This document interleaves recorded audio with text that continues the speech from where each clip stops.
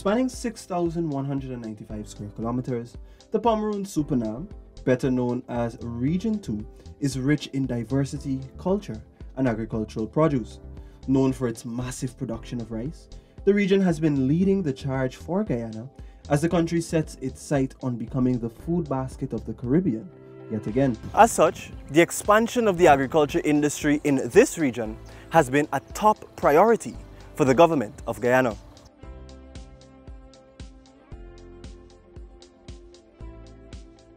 On Sunday, December 3, a new state-of-the-art $200 million multi-stage and multi-purpose farm was commissioned.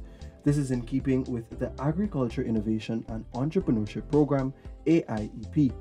In the first phase, a hydroponic farm will be built to cultivate crops such as kale, pepper, celery, and tomatoes. Hydroponics is a process that lowers labor intensity by removing the need for soil.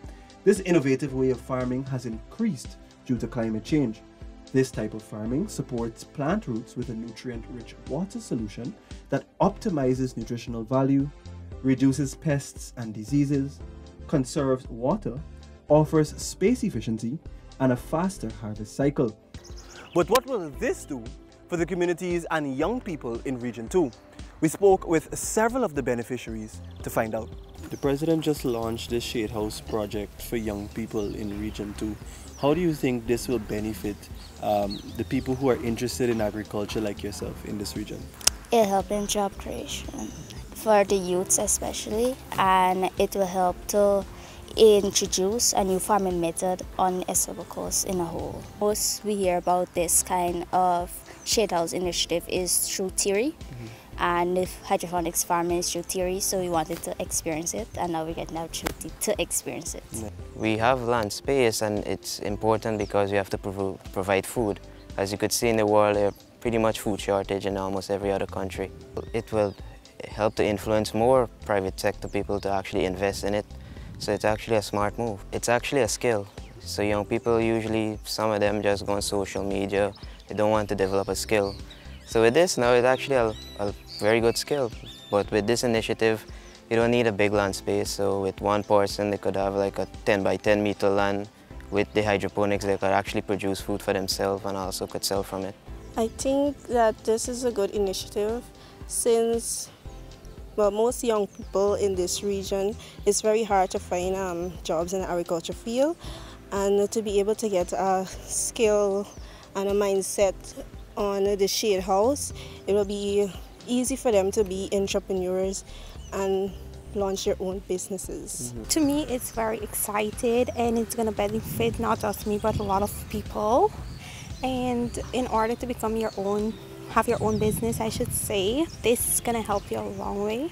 It's gonna benefit a lot of us in a way that you know we could start our own business. We could be able to have foods and vegetables on the market. The Excellency, I would like to say thank you very much for having this project out because it won't just benefit me, it will benefit a lot of people, society.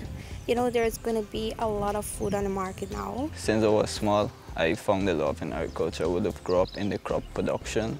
So since then, I pursued my dream in the agriculture sector. Mm-hmm. Agriculture in general, to me, I think is the most important sector in the country.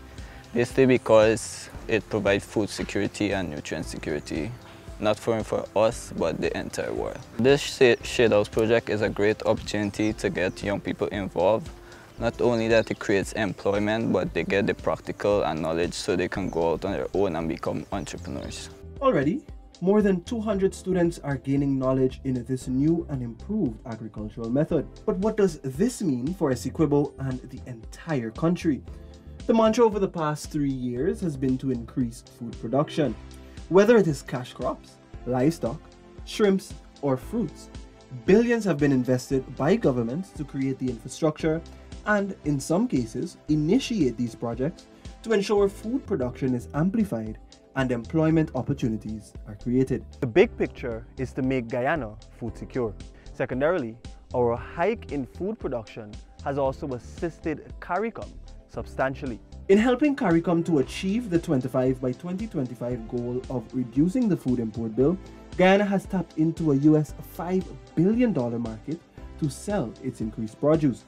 The effect of this confidence is what encourages more persons to become farmers, achieving yet another goal of employment opportunities.